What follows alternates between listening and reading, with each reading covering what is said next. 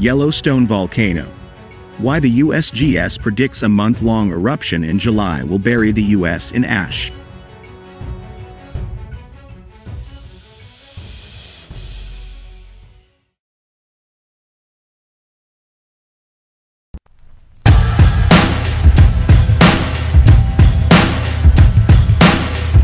A USGS scientist demonstrated in a lecture a surprising simulation of the Yellowstone volcano showing a month-long eruption in July that would bury the northern U.S. state in a meter-high ash. Yellowstone volcano is one of several dozen volcanoes on Earth that have been labeled supervolcanoes for their ability to emit more than 250 cubic miles of ash and debris.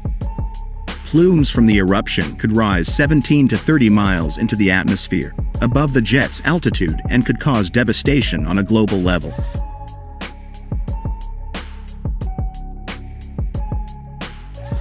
This type of event has occurred three times in history, 2.1 million years ago, 1.3 million years ago, and 630,000 years ago.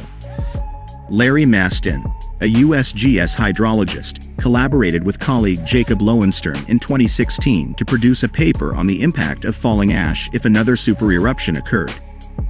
Speaking in a public lecture that same year, he explained, the goal was to see how the growth of the umbrella cloud would affect the distribution of ash from Yellowstone. We performed several dozen simulations starting with magma eruption volumes of several hundred cubic kilometers.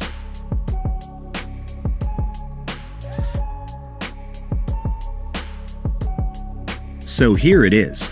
If you take into account the volume of tephra that expands when it erupts, the volume of the tephra layers formed will be several times greater than the volume of magma alone. So this would correspond to a tephra volume of over 1,000 cubic kilometers. We used durations ranging from 3 days to 1 month and umbrella cloud heights ranging from about 15 to 35 kilometers, 9 to 18 miles. Wind fields are chosen randomly based on historical patterns, but it turns out they don't actually matter that much. Mr. Mastin then showed how the Yellowstone supereruption would bury much of North America in ash, with some areas more severely affected.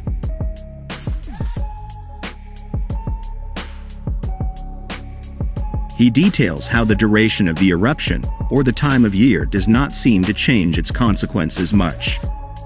He added, so in this simulation you can see that over a three-day period, this umbrella cloud covers most of the North American continent. It then gradually spreads out following wind patterns, so you can see the tephra deposits in these four different three-day simulations. Once in January, once in April, once in July and once in October.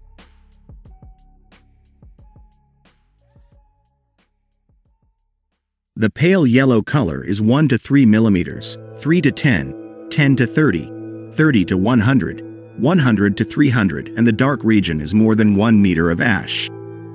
If you observe for a duration of one week, the pattern looks quite similar and for a duration of one month the pattern is also quite the same. But as time goes by, we lower the average eruption rate, which weakens the growth of umbrella clouds.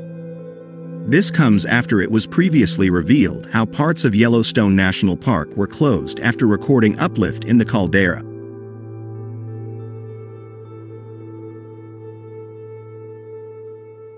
In 2003, changes in the Norris Geyser Basin resulted in the temporary closure of several passes in the basin. New fumaroles were observed, and some geysers showed increased activity and increased water temperatures.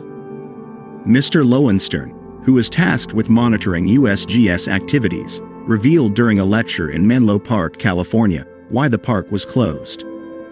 He said in 2014, Around that time there was a lot of hydrothermal activity in the Norris Geyser Basin area and new linear vents forming at Nymph Lake.